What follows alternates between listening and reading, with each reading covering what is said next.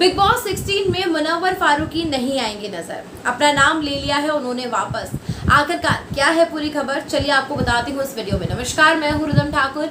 स्वागत करती हूँ आप सभी का फ़िल्म विंडो पर। वाल आपको बता दें कि लगातार जब से मुनवर फारूकी ने लॉकअप शो को जीता है, तब से लेके अब तक उनका नाम बिग बॉस के लिए नाम नंबर वन पर नज़र आ रहा था। इनफैक्ट कई बार खबरें ये सामने आ चुकी थी कि मुनवर 99.9 परसेंट कन्फर्म हो चुके हैं। उन्होंने साइन कॉन्ट्रैक्ट साइन कर लिया है और खतरों के खिलाड़ी सीज़न 12 का रिप्लेसमेंट भी मिल रहा है यानी कि आपको याद दिला दें कि मुनवर जो है वो लॉन्च पार्टी पर पहुँचे थे के के के यानी कि खतरों के खिलाड़ी के और उसके बाद केप टाउन नहीं पहुँचे क्योंकि उनके लीग, लीगल इश्यूज़ के चलते उन्हें वीज़ा नहीं मिला जिसकी वजह से उन्हें इंडिया में ही रहना पड़ा, वहीं पर उन्हें काम करना पड़ा और खतरों के खिलाड़ी से उनको एग्जिट मिल गई। और इसी की रिप्लेसमेंट में उन्हें बिग बॉस 16 ऑफ़र किया गया था।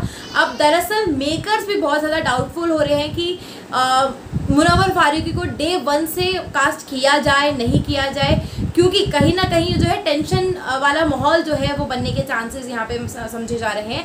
अब ऐसे मैं आपको ये भी बता दूँ यहाँ पर कि ये भी कहा जा रहा है कि मुनवर फारूकी अभी भी लिस्ट में शामिल है।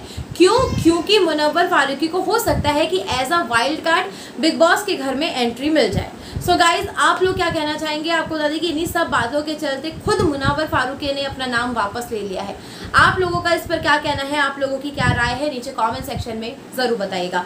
बाकी ये वीडियो पसंद आए तो लाइक कीजिए शेयर कीजिए कमेंट कीजिए।